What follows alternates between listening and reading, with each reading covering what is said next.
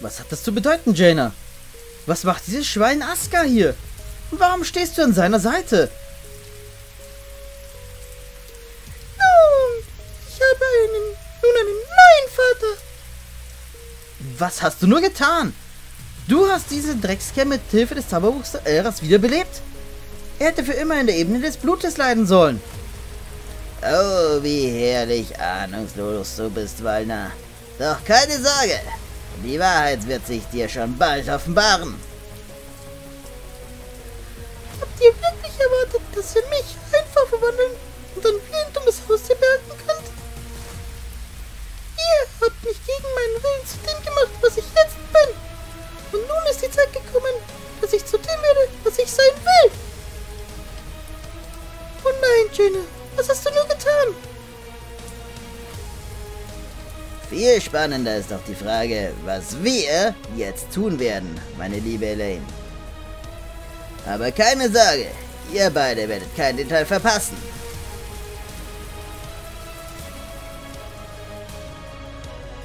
Jaina hatte nach ihrer Verwandlung so viele Fragen zu ihrem vampirischen Dasein, die Walner und Elaine nicht beantworten wollten. Diese Unwissenheit trieb Jaina unerbittlich an, selbst nach Antworten zu suchen. So geschah es, dass der uralte Vampir Askasaran mit Hilfe eines magischen Zauberbuchs aus der Ebene des Blutes befreit und wiederbelebt wurde. Und Aska bot Jaina Antworten auf Fragen, die Elaine und Walner nicht beantworten wollten. Doch auch Aska konnte nicht erahnen, welche finsteren Kräfte noch in dem Zauberbuch steckten. Finstere Kräfte, die Jaina immer mächtiger werden ließen.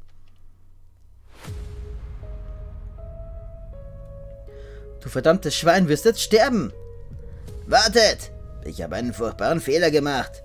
Ich dachte, ich könnte Jaina nach meinem Willen formen. Doch ich war dumm und blind. Sie ist nicht mehr die Vampirin, die ihr kanntet.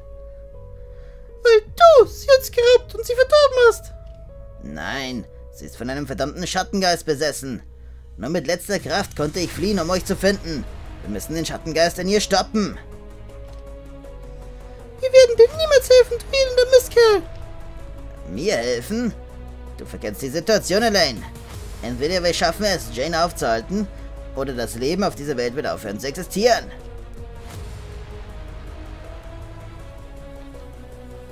Und so führte letztlich die gemeinsame Jagd nach der besessenen Jaina die drei Vampire an den Ort, an dem Jaina die Steintafel der Eras nutzen wollte. Schattengeister sind unfassbar mächtige Eras-Magier, die ihre körperliche Daseinsform überwinden konnten und von einem Wirtskörper zum anderen wandern. Die Steintafel wiederum ist ein Relikt der Eras-Magier, auf dem der mächtigste Zauber geschrieben steht, der jemals erschaffen wurde. Doch nachdem sowohl Jaina als auch Walner am Ende durch einen Schattengeist besessen waren, blieben Aska und Elaine keine andere Wahl, als beide zu töten. Wie ich euch bereits erzählt habe, verhinderte Elaine, dass Aska danach den Zauber der Steintafel nutzte. Stattdessen teilten sie die Bruchstücke auf. Und zwar so lange, bis Elaine das von Jaina versteckte Zauberbuch der Eras gefunden und damit Walner wiederbelebt hatte. Aber das Buch blieb verschollen. Und Aska verlor die Geduld mit Elaine. Ah, das Ende haben sie also gewählt, hat Malex also gewählt. Interessant. Übrigens, bisher war das alles, oder ist auch immer noch, ähm, eine, eine Rückblende über Vampire Stone 2 Ancient Blood, Leute. Auch ein tolles Spiel, Leute. Also Vampire Stone 1, ähm, Reign of Blood, Vampire Stone 2, Ancient Blood sind die beiden Vorgänge von Vampire Stone äh, Dawn 3, der Crimson Realm. Ähm, habe ich beide auf meinem Kanal, aber ähm, verwechselt bitte Ancient, Vampire Stone 2 Ancient Blood nicht mit Vampire Stone 2 Everlasting Blood, was eine ähm, von der, von der Mod-Community veränderte Version ist von Vampire Stone 2 und die mir nicht so sehr gefällt wie das Original. Also sucht euch am besten das Original an, Ancient Blood. So, meine Vampirina, jetzt ist es soweit. Diese verdammte Elaine hat es seit Monaten nicht geschafft, das Buch zu finden. Meine Geduld ist nun am Ende. Ich werde nicht einen Moment länger darauf warten, dass dieses Miststück das Buch in ihre Hände bekommt. Ich bin dazu auserwählt, den Zauber der Steintafel zu nutzen. Elaine hat versagt. Sie ist genauso inkompetent wie der Wurm Wallner, den sie doch immer so verzweifelt liebt. Doch ihre hoffnungslose Liebe wird mich nicht einen Tag länger davon abhalten, die Macht zu erlangen, die mir schon längst hätte gegeben sein müssen. Macht euch bereit! Wir werden noch heute die Bruchstücke in ihren, ihren dreckigen Händen entreißen. Die Steintafel wird nach all der verschwendeten Zeit endlich mein sein! Falls sie sich mir entgegenstellt, wird sie das gleiche Schicksal wie diese Made Walner ereilen. Unendliche Qualen in der Ebene des Blutes.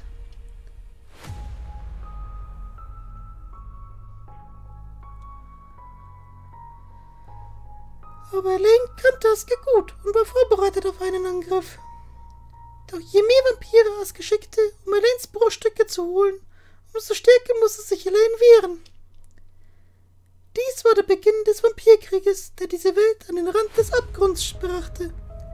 Und je größer der Druck auf Elaine wurde, umso größer wurde auch ihre Verzweiflung.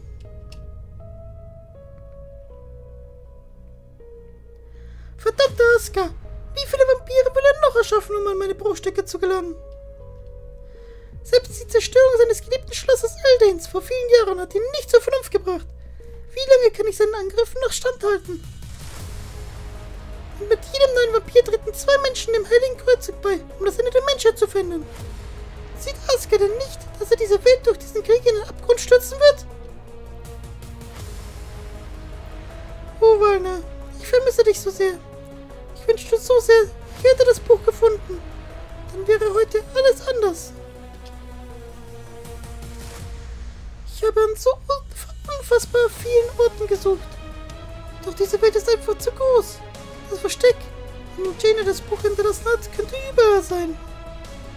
Selbst in irgendeiner Felsspalte oder einem toten Baum. Wie soll ich es nur finden?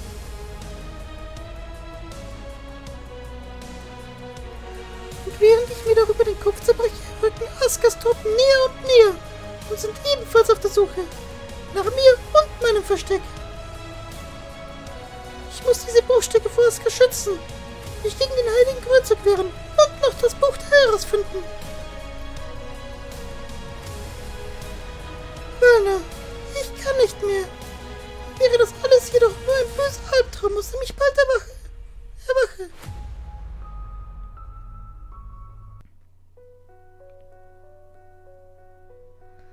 Und so bekämpften sich die beiden Vampire für Jahrzehnte, während der heilige Kreuzzug geschaffen wurde, um die Auslöschung der Menschheit durch die Vampire zu verhindern. Worin genau die Macht der Steintafel lag, wussten nur die Eresmagier. Aska erhoffte sich mit der Macht des Relikts die Herrschaft über die Welt. Elaine wollte die Welt wieder ins Gleichgewicht bringen, doch ohne Wallner konnte es für sie keinen Frieden geben. Und für Wallners Wiederbelebung brauchte Elaine das Zauberbuch der Eresmagier. Aber wo sollte sie so einen kleinen Gegenstand in einer so großen Welt, großen Welt finden? Wo nur konnte das Buch von Jenna versteckt worden sein?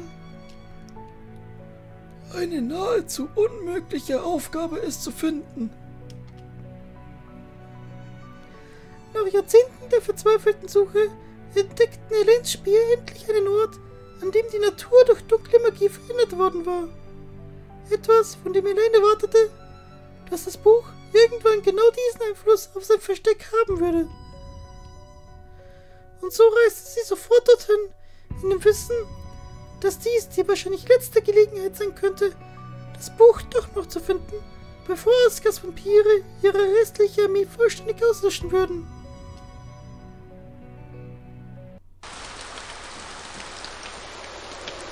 Und so war allein nach Jahrzehnten der Suche und des Krieges gegen Aska dem Zauberbuch der Heras endlich ein Stück näher gekommen. Hier irgendwo muss das Buch versteckt sein. Meine Vampirkundschafter berichteten, dass es in diesem Wald durch Schattenmagie verzauberte Tiere gibt. Das bedeutet auf eine starke dunkle Magiequelle hin. Es muss einfach das Buch sein. Falls nicht, wird Aska mein Vampirkrieger in Kürze mit seiner Armee überrennen. Dazu darf es nicht kommen. Zug muss endlich ein Ende finden. Oh, Walne, ich brauche dich in dieser düsteren Stunde mehr als jemals zuvor. Hinweis, bewege dich mit dem Pfeiltasten oder WASD. Mit Enter interagierst du mit der Umgebung, mit Escape oder X rufst du das Menü auf. Mit Shift bewegst du die Spielfigur schneller. Im Menü unter Optionen kannst du neben der Lautstärke auch einstellen, dass die Spielfigur immer rennt. Habe ich natürlich schon gemacht, Leute. Die Option habe ich schon gemacht. Ich finde, die Ambiente ist sehr laut. Ich mache ich mach den Regen mal leiser. Hätte ich nicht gedacht, dass der so laut ist. So, und eventuell werden wir die Kampfeffekte noch ein bisschen ändern. Das weiß ich noch nicht. So. Wir haben Elaine Frünia Level 75. Geil. Maximallevel anscheinend. HP 5547. Blutpunkte 1200. Was sind RP? Rufpunkte? Wir haben 2800 ähm, Fila. Speichern wir mal. Autosave. 1, 2, 3. So, so. Ne, wir machen 1. Speichern. Super. Anzahl Speicherungen 2. Stimmt nicht. ähm, Spielzeit eine halbe Stunde schon. 2800 Filar. 15 Menschlichkeit. Keine Pentagrammanzahl. Nur keine Silberbarren. Oh ja, Silberbarren wieder. Oh, das hat mir im ersten Teil so gefallen, Leute. Geil.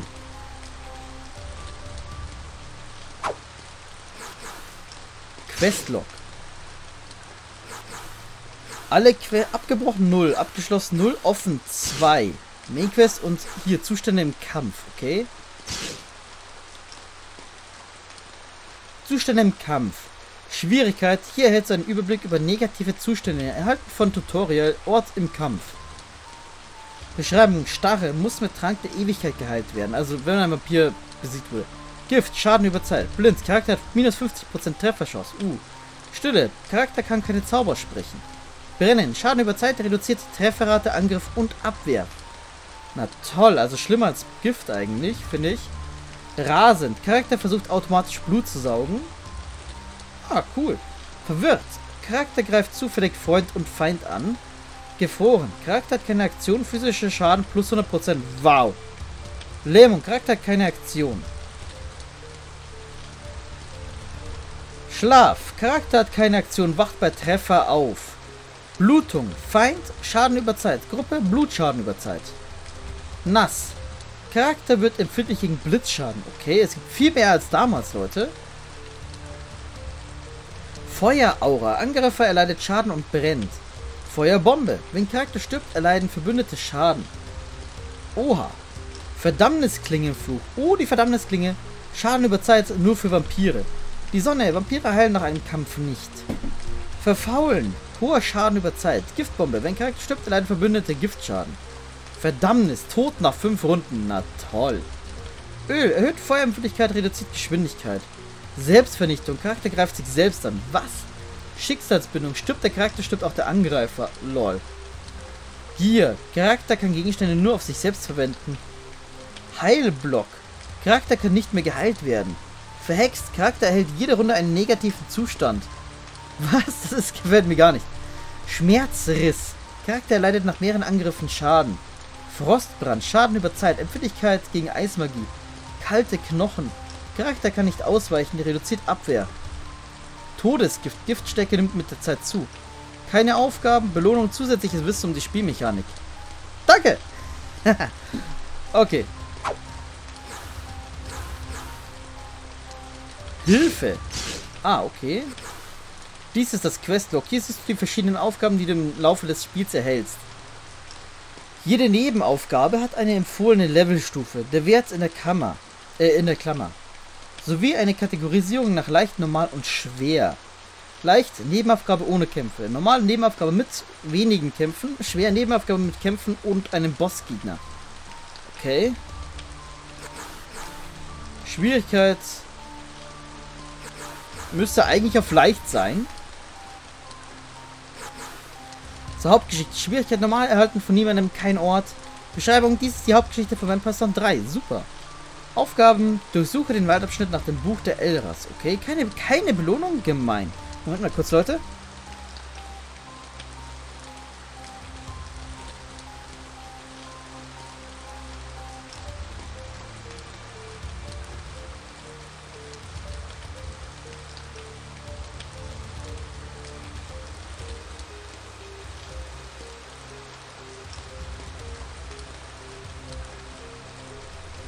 So, weiter geht's. Okay, also ich finde, er hat sich der Formation, können wir noch nicht machen. Status. Okay, allgemein. Ah, das ist da, ist da unten. Okay. So, Level 75, maximales Leben, maximales Blut, Angriff 421, Abwehr 247. Magischer Angriff 361, magische Abwehr 463.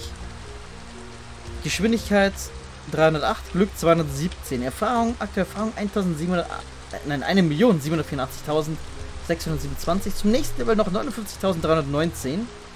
Gesamterfahrung bis zum nächsten Level. Ah ja. Attribute 1. Ah, die habe ich ja gerade vorgelesen. Magische Abwehr ist ganz rechts, Leute. Ich weiß nicht, ob die voll ist oder ob die, äh, der höchste Wert einfach als Maßstab für alles andere genutzt wird. Ich meine, 461, das wäre die Hälfte, wäre ungefähr 231. Und die, die, Abwehr 247 ist links von der Hälfte. Das heißt, es ist wahrscheinlich der, tatsächlich der Maximalwert. Mehr magische Abwehr geht einfach nicht. Attribute 2, Erfahrungsquote 100%, Trefferchance 105%. Das gefällt mir. Außerdem 5%. Also ich finde das toll, Leute. Das sind hier Werte, die wir im ersten und zweiten Teil nie hatten. Kritische Trefferchance 25%. Ausweichen gegen kritische Treffer, gegen Zauber, Reflektionsschuss gegen Zauber und Gegenschlagchance 0%. Blutkostenmodifikator, Rache Verbrauchs, physischer Schaden, magischer Schaden, Resistenz, äh, Resistenz Fallenschaden, Verteidigung, Effektivität, hohen Effektivität und Heil-Item-Effektivität 100%. Agro-Rate 100%, Lebensregeneration, Blutregeneration und Racheerzeugung 0. Ah, Rachepunkte sind das also. Ah, okay. Elemente, physisch 100%, Feuer, Eis, Blitz, Wasser, Blutmagie, Statusmagie, Licht und Schattmagie auch 100%. Okay. Elaine war doch eigentlich nur Feuer, Blut und Status. Während Blitz ist neu hinzugekommen und Wasser auch, Leute. Die gab es vorher nicht. Äh, Aska war Eis und, und Schatten und, äh, und, und Blut auch, glaube ich. Oder was? Nur Eis und Blut? Ich weiß nicht mehr. Und Walner hatte Licht und Schatten nur. Irgendwie so war das. Aber Blitz und Wasser sind neu. Neue Magie, Leute. Zustände. Okay, Elaine ist alles zu 100% oder wie? Verstehe ich nicht. Und abbrechen.